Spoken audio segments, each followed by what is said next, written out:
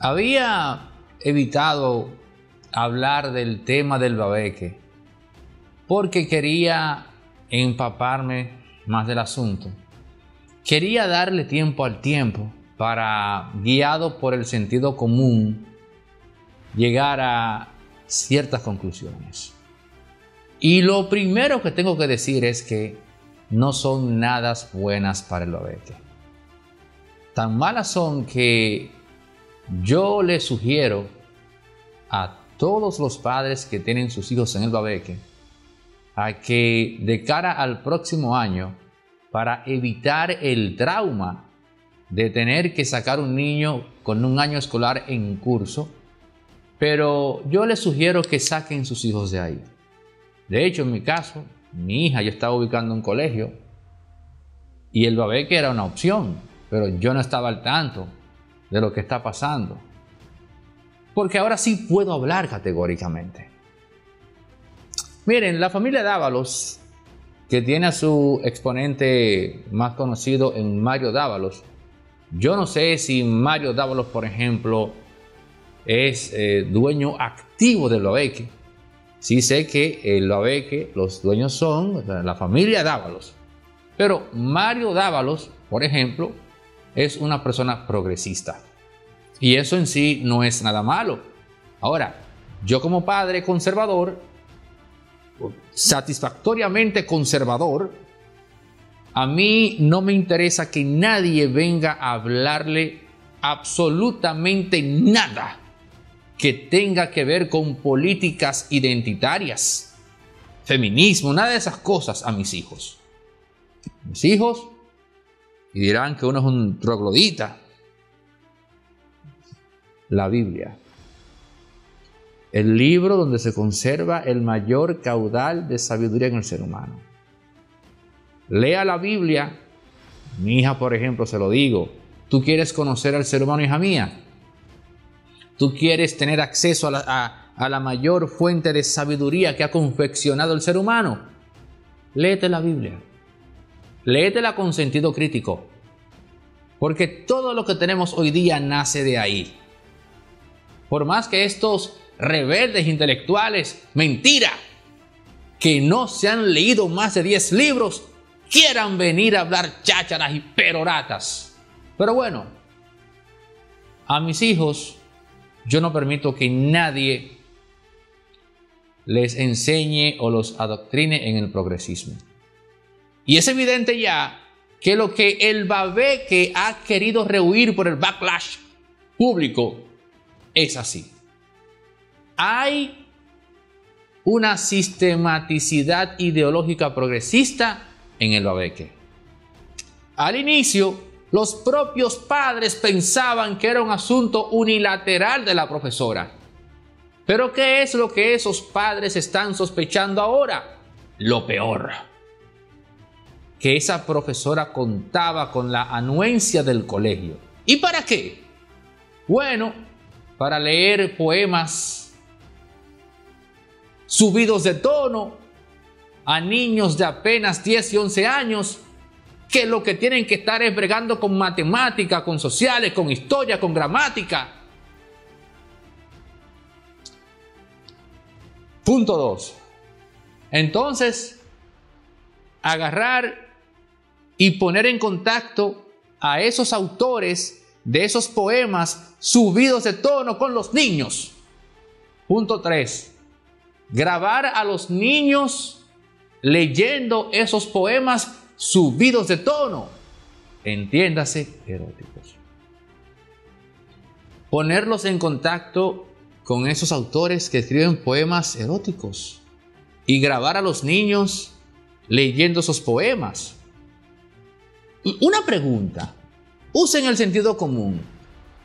Si yo escribo un poema erótico, y ponen un niño, por ejemplo, a comunicarse conmigo, dice que para felicitarme por el poema. Yo le pregunto a ustedes, ¿qué creen ustedes que puede surgir de esa interacción? Ay, mire, me gustó el niño, me gustó su poema, eh, muy lindo. El niño guiado por la ingenuidad. Entonces el autor le dice, ah, muchas gracias. ¿Cuál fue la parte que más te gustó del poema? Señores, no hay forma humana en la que una interacción entre un niño que ha leído un poema erótico y su autor vaya por caminos de bondad. No, va a terminar más temprano que tarde en caminos de aberración, cuando el autor o escritor de manera inevitable le pregunte por la parte que más le agradó del poema. Farmacia Medicar GBC está abierta de lunes a domingo, sigue en pie con su descuento de un 20% y también tiene su app que pueden descargar eh, los amantes de Android y la gente también de Apple. Farmacia Medicar GBC, la de nosotros los dominicanos.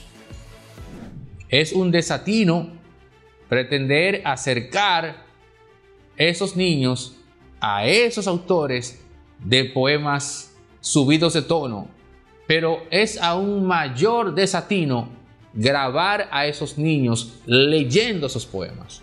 ¿Y qué es lo que algunos padres han sospechado o están ya diciendo? Y que lo que increíblemente nunca te paró en eso. En que, eso dicen esos padres, un asunto ahí al más puro estilo de la película aquella, Sound of Freedom. Que en él va a ver que, miren cómo el colegio termina involucrado con esto. Claro. ¿Y tienen los padres algún desatino o problema que los llevó a exagerar la nota? No. Poemas eróticos, que los niños se acerquen a los autores, graban a los niños. Mm. Porque aquí los elementos altisonantes y llamativos son la insistencia en que los niños se pongan en contacto con los autores. Eso es algo que raya en lo inusual. Y luego grabarlos. Yo no puedo acusar al babeque de nada en concreto. Pero sí puedo decir que grabar a un niño leyendo un poema, sí, erótico, un poema subido de tono, y a su vez pedirle al niño que se ponga en contacto con el autor de esos poemas, o los autores, esas dos variables entran perfectamente en el cuadro típico de inducción de menores para llevarlos a ser explotados en lo que ya usted sabe. A ese cuadro es que se está enfrentando el babeque. Así de simple. Yo no hablé de esto, estoy hablando hoy. Hace ya una semana y pico. Y vengo escuchando ambas partes, incluso profesores del babeque. Y yo así, escuchando, y yo pensando y pensando y pensando.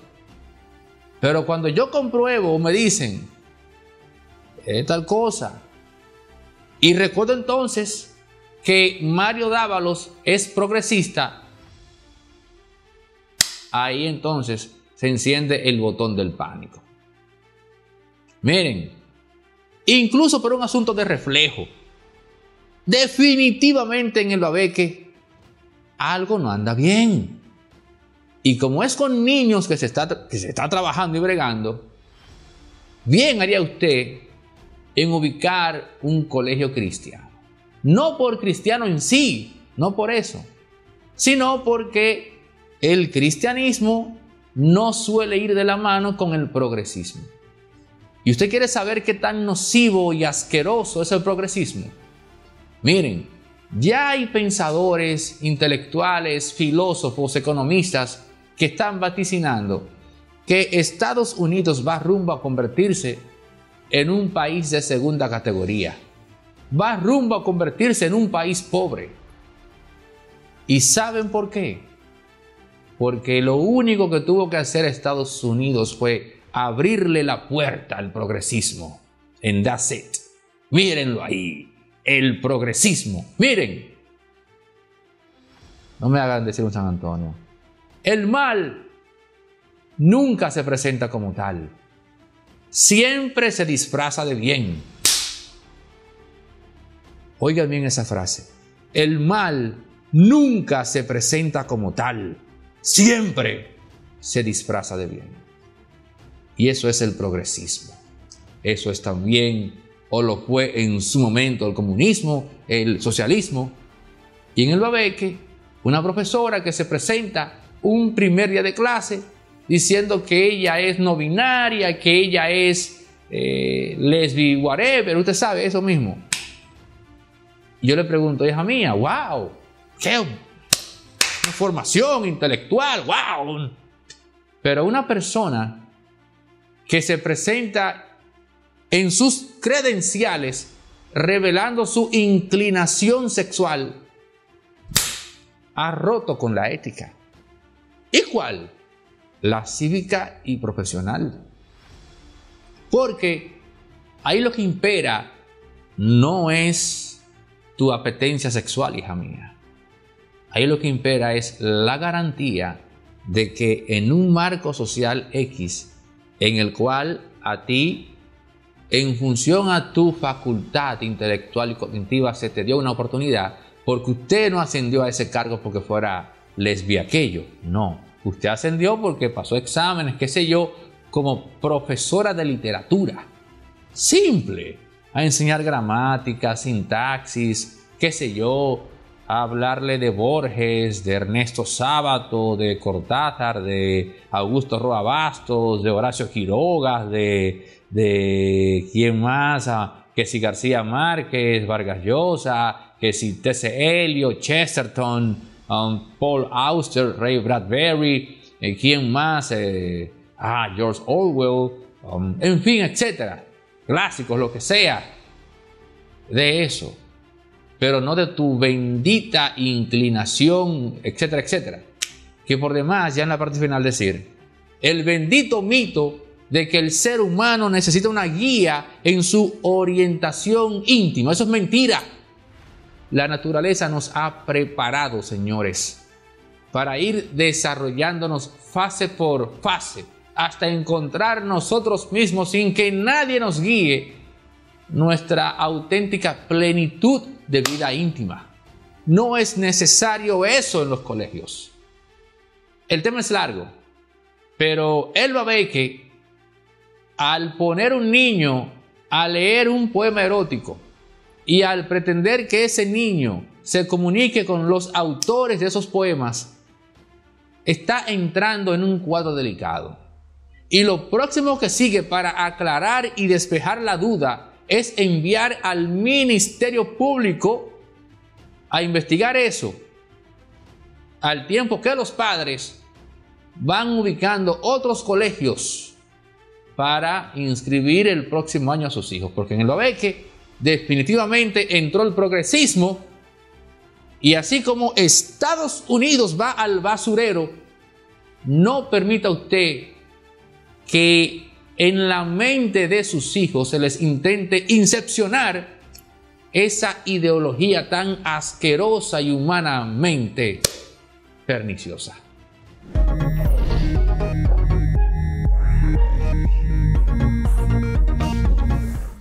Yo me llamo Julia Altagracia Cristín.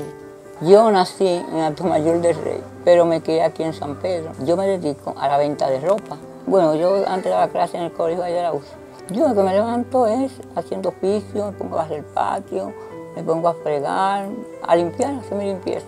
Y después para la calle, a ver mi venta, después que limpio. Yo tengo cinco hermanos. Yo me he, agarrado, me he ganado premios con la cara 4 del otro Me fueron 50 mil. Después ahora el millón que me saqué, yo voy a seguir negociando, voy a comprar una paca, yo voy a, ampliar más mi negocio. Y así jugando con el otro Bueno, yo le digo a esa persona que sigan jugando, que esto es verdadero, que según yo gané, otros pueden ganar. Feliz, contenta, muy contenta, gracias a Dios. Yo me gané un millón de pesos con los todón, con el millón de los sábados. Primer carro es posible con Centro Electronic RD, los pioneros en República Dominicana en vehículos eléctricos. Desastre de el consumo en combustible fósil y lleva, oigan esto que voy a decir, un consumo promedio de 10 o 15 mil pesos te puede quedar en un mes entre 500 y 1000 pesos si tu vehículo es eléctrico. Pero también Centro Electronic RD tiene, eh, tiene una flotilla vasta, extensa de vehículos para fines corporativos y empresariales. Centro Electronic RD, tu primer vehículo eléctrico totalmente para que la factura del combustible no sea una carga. Y para las empresas, tenemos camiones, tenemos vehículos tipo deliveries, camionetas, en fin, para que también el costo en combustible en grado amplio no sea una carga. Centro Electronic RD, teléfonos en pantalla para más información. Si vas de parte de Impolíticamente Correcto, tienes un descuento de 500 dólares en cada compra.